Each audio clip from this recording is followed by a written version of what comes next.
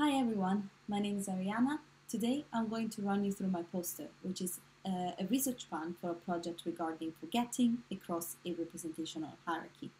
Our first question concerns with the rate of forgetting. We've long known from memory studies that we forget encoded items, such as individual words, exponentially with time.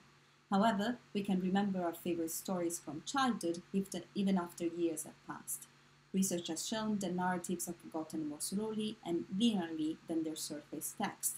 This suggests that the rate of forgetting may depend whether, on whether higher or lower level information is being encoded. The second question concerns with the quality of forgetting.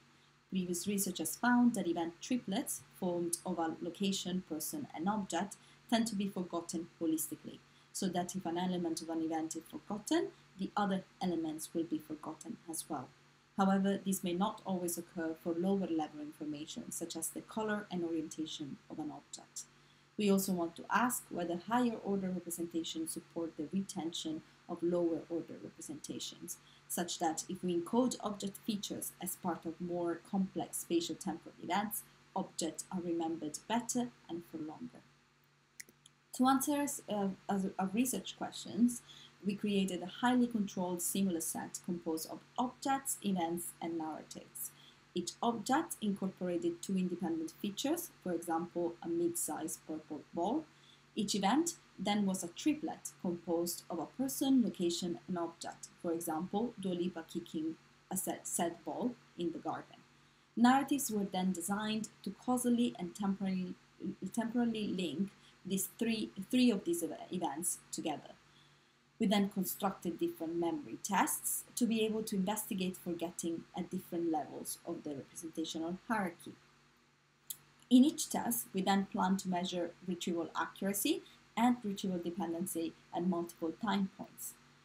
For the rate of forgetting, uh, we expect uh, that higher order narrative representations will decay rapidly and less rapidly and more linearly than lower order uh, object representation, which should decline quickly and more exponentially. For the quality of forgetting, we predict holistic forgetting only for higher level uh, representation.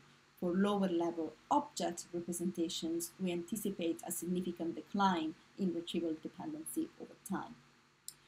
In our current experiment, we are investigating whether object information is retained better when objects are encoded embedded within events as opposed to being in isolation.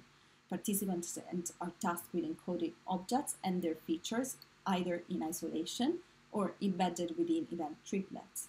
Memory for these object features is then tested in two forced choice alternative memory tests, one immediately after encoding and the other one 48 hours later. Our results from 19 participants demonstrate clear differences between object and event memories.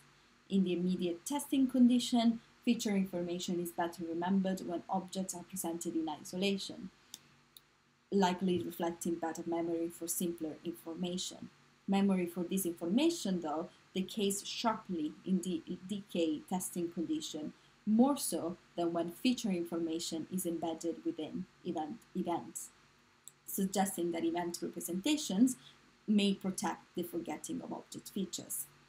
Currently, neither conditions um, shows evidence of retrieval dependencies, uh, dependency of object features at either time points.